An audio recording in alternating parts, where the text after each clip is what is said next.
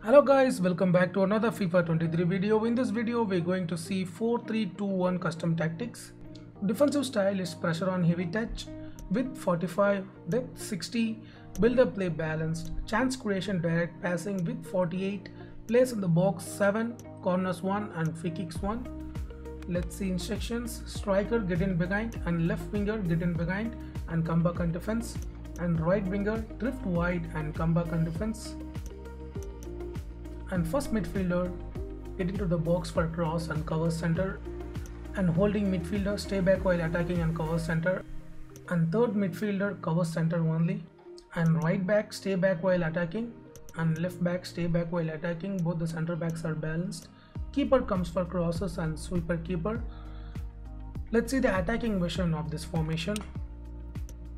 Defensive style press after possession loss and give depth to 65 and build up play to fast build up and chance creation to balanced and width to 52 and instructions left winger get in behind and right winger get in behind.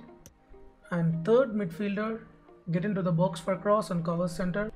And right back stay back while attacking and overlap. And left back stay back while attacking and overlap.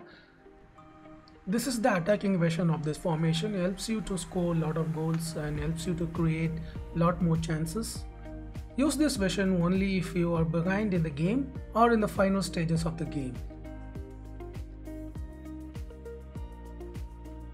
This is one of the best attacking formation in FIFA 23 right now which has very good attacking nature. This formation is very close like narrow formations.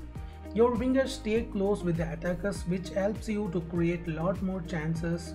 Try to use strong physical wingers on both the sides to put up a battle against the defenders. This formation has some dents here and there like collapse of the back line. To tackle this situation, do not drag your defenders too often out of the position. It will help you to maintain your back line. And this is the only drawback I have found in this formation. Other than that, this formation is very attacking and very fun to use. That's it for today guys. Hope you like this video. Hope this formation gives you a lot more wins. If you like this video, drop a like and subscribe our channel for more video like this. Thank you for your time and see you in the next video. And a warm welcome on what is an ideal night for football, you've got to say. I'm Derek Ray in the commentary position, and I'm joined for expert analysis by my partner Stuart Robson. And we have action from foot rivals coming up for you from the very outset. Outrageously skillful.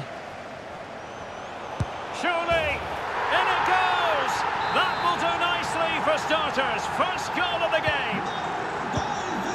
And the ball moving again. What sort of response will we see from them now? And in with a real chance. Oh, that's textbook goalkeeping.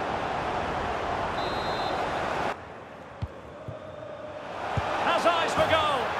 And a goal! They've increased their lead, and they don't want to be throwing it away from here. Taken short. Course.